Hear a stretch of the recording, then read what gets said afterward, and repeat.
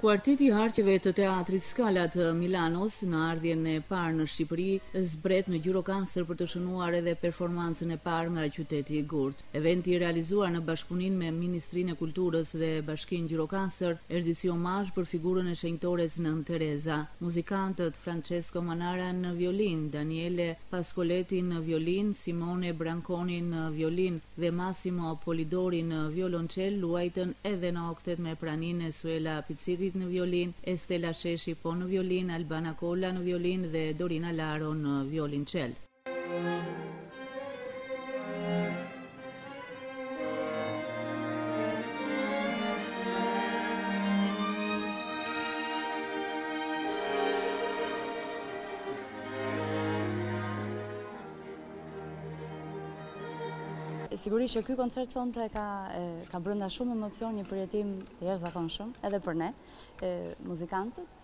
Lidhja me La Scala-n, në fakt dhe me gjithë teatrin e La Scala-s është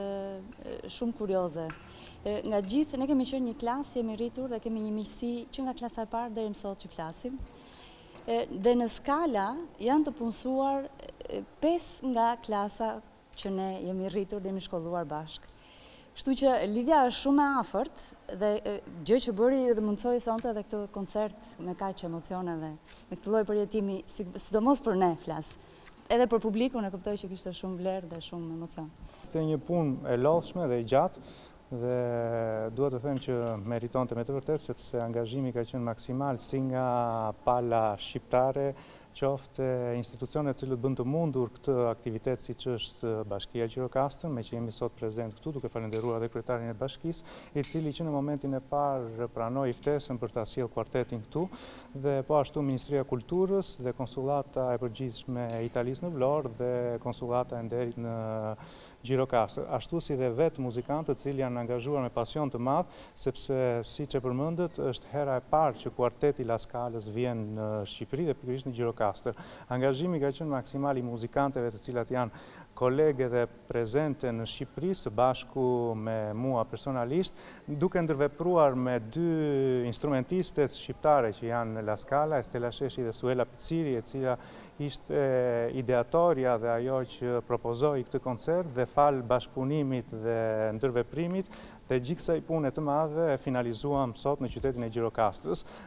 Koncerti u ndoq edhe nga Iva Palmieri, konsullja e përgjithshme e Italisë në Vlorë e Vilma Bello, zëvendësministre e Turizmit. Unë mendoj që surpriza më e madhe e jona dhe artistëve ishte e kësaj